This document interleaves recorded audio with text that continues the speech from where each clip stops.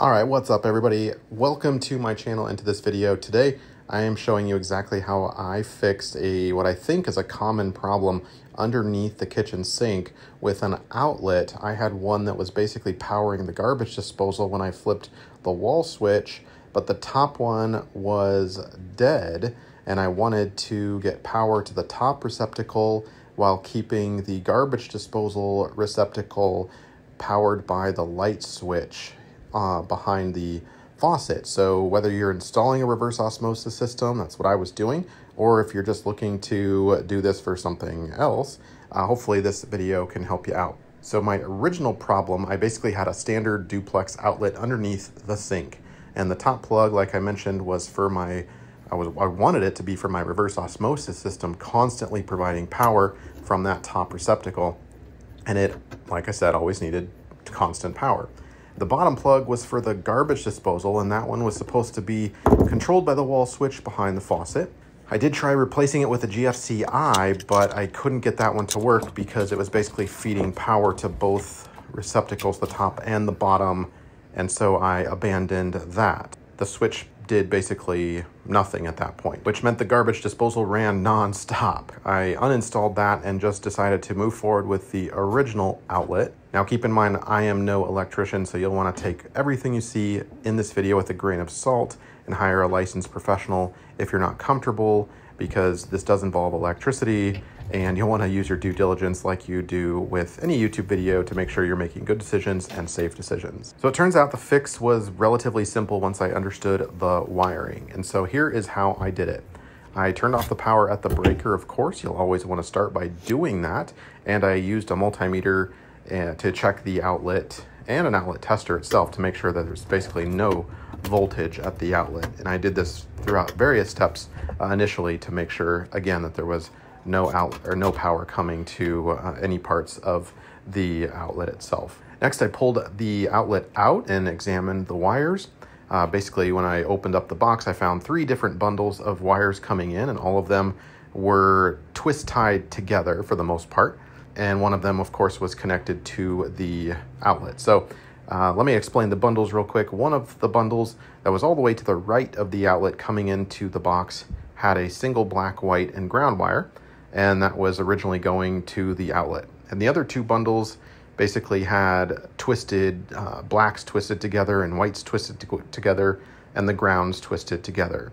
And those were carrying power in and out to the rest of the circuit, wherever that may have been going, likely the dishwasher in my case, but I'm not exactly sure of that or can't confirm that for sure. So from that point, I basically cut off the ends of those, the 12 gauge wire that was already in there now as to whether or not you should use 14 or 12 gauge uh, wire, you should check your breaker box.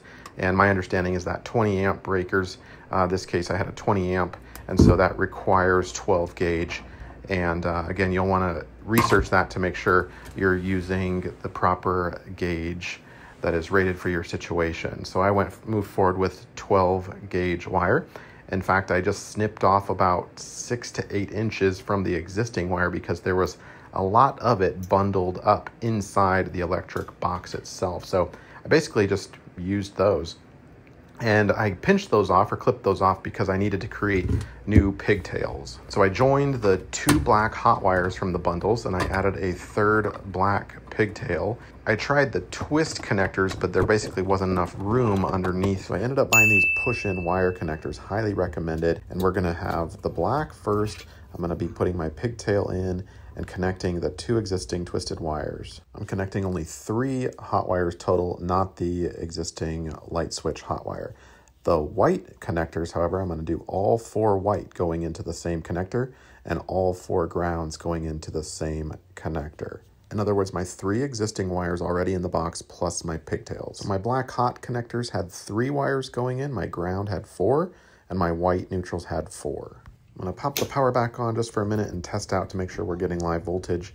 And yes, we are. And I turned the power back off before proceeding. So I used my standard outlet and I broke the brass tab on it. That part was important. I reinstalled this standard 20 amp outlet, not a GFCI.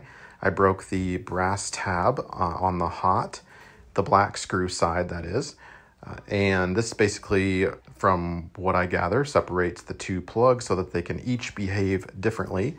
I did not break the tab on the silver side. That was a big no-no.